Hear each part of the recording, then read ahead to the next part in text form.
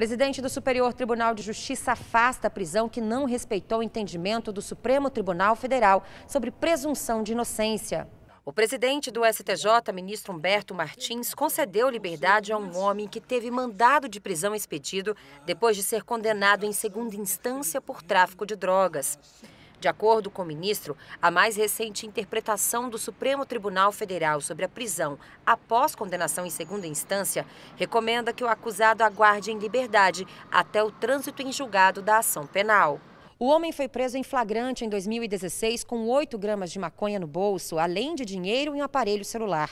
O Ministério Público de Minas Gerais ofereceu a denúncia por tráfico, mas o juiz de primeiro grau entendeu que a quantidade era compatível com a versão do denunciado, de que a droga era para seu próprio uso, e decidiu pela pena de advertência. A acusação recorreu ao Tribunal de Justiça de Minas Gerais, que condenou o réu a seis anos e cinco meses de prisão em regime fechado.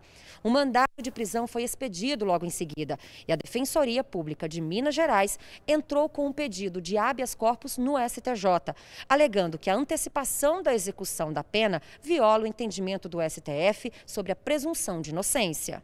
O ministro Humberto Martins afirmou que o STJ passou a seguir a mesma orientação do Supremo, de que a pena só pode começar a ser executada quando esgotados todos os recursos.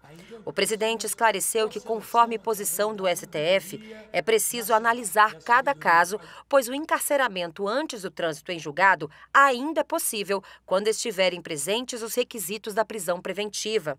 Humberto Martins concedeu então a liminar em habeas corpus para garantir que o réu aguarde em liberdade até o julgamento do último recurso.